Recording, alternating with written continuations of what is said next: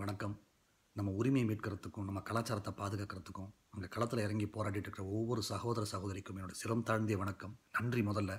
இந்த உலகமே தமிழ்னா யாருன்னு தெரிஞ்சுக்கிற மாதிரி செஞ்சிட்ருக்கீங்க எல்லோரும் அண்ணாந்து பார்த்துட்டு இருக்காங்க. இந்த மாதிரி ஒரு நிகழ்வு எங்கே நடந்திருக்கு எனக்கு தெரியல.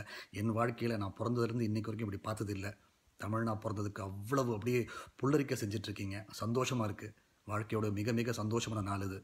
எனக்கு வந்து இது ஒரு கனவு மாதிரி இருக்குது ரொம்ப சந்தோஷமாக நோக்கம் தெளிவாக இருந்தால் நம்மளுடைய செயல் திட்டம் எல்லாமே தெளிவாக இருக்குன்னு சொல்லுவாங்க. நோக்கம் ஜல்லிக்கட்டு அது அவ்வளோ தெளிவாக இருக்குது அதை அடைஞ்சே தீர்வோம்.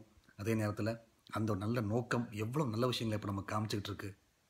நான் ஒரு விஷயம் கேள்விப்பட்டேன் நேற்று அங்கே வந்து ஆயிரக்கணக்கான பேர் பீச்சில் இருக்கும்போது நைட்டு லைட் ஆஃப் ஆகும்போது கும்பிருட்டு ஆயிரக்கணக்கான மக்கள் அதில் ஒரு ஆண் கூட ஒரு பெண் மேலே தவறாக கை வைக்கலன்னு நினைக்கிறத கேட்டு நான் அவ்வளவு உணர்ச்சி வசப்படுறப்படான்னு தெரியல.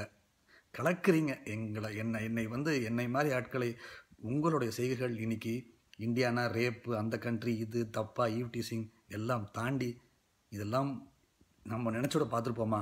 மீண்டும் மீண்டும் நன்றி. ஜல்லிக்கட்டை நம்ம பெற்றே தீர்வோம். இது கண்டிப்பாக நடந்தே தீரும்.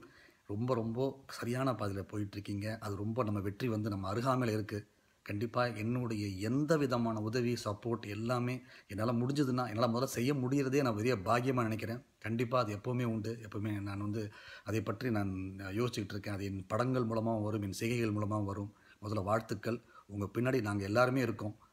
கலக்குங்க. Hats off to you